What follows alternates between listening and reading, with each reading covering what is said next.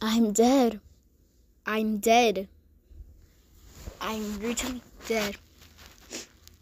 Why, you might be asking?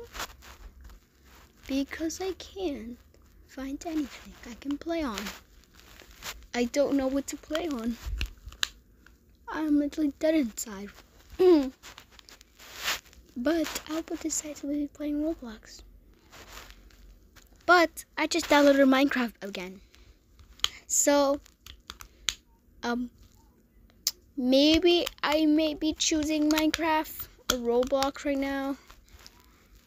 Or a paint or drawing something. I don't know what to do right now. Or Cookie Run Kingdom.